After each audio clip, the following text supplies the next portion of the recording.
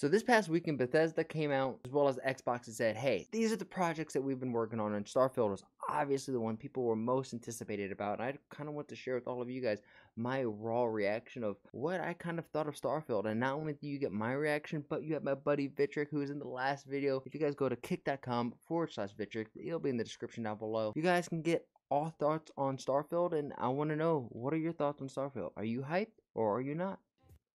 We're starting at three, two, one, go.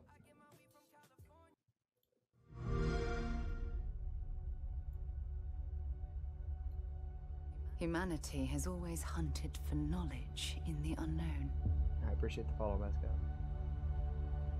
The wonder is, I love how open it is. Like it looks cool. so I love the look of this game, but that we have measured. but I have so many questions.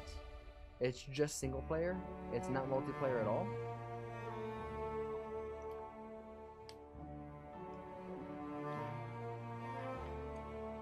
See, that just turns me off.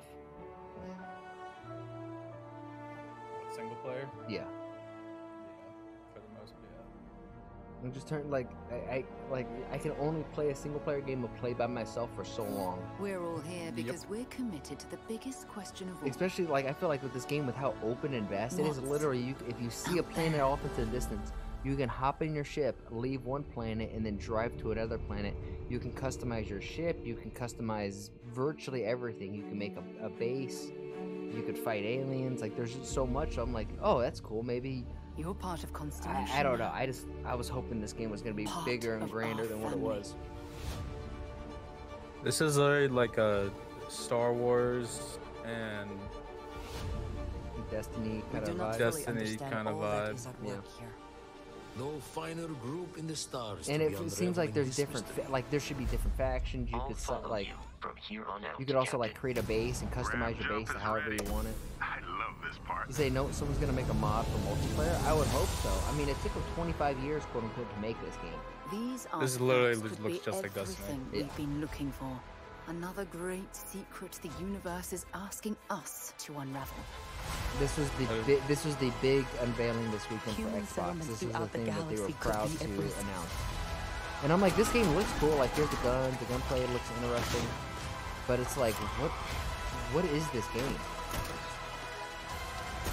Third we person, are first not person. stopping.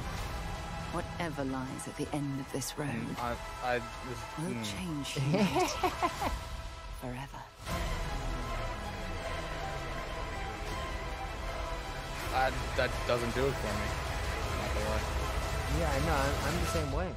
Everyone was so This so hyped for this game. I'm watching where this. I'm like, belong. I don't know. like, Yeah, I don't, I don't, I don't think that's it for me. It's like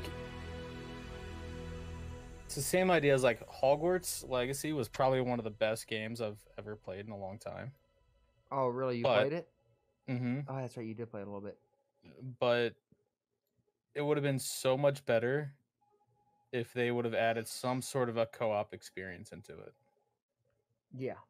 Expect I, I in 2023 gaming is so much like a, a group social. social yeah it's a social activity and in a game like starfield it to me it seems like it would be crazy to go like hey let's i i found a new planet let's go there you want to explore it and there's like hostile aliens there and we have like oh shit we got to get the fuck out you know and that Yeah. but that's like a whole thing. That i don't want to do that by myself. I don't want to fly there and fucking i don't know listen to some npc as i'm flying there